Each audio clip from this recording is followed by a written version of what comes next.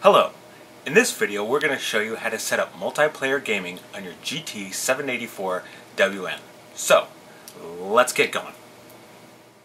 On a computer connected to the internet, enter the displayed URL in the address bar of a web browser.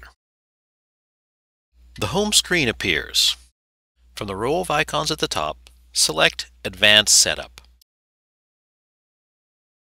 The Advanced Setup screen appears.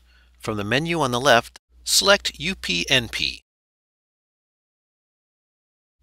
The UPnP screen appears. Under Step 1, make sure that the radio button next to Enable is activated. Then, click Apply. Way to go! You've done it! For more helpful hints, go to www.actiontec.com slash how-to.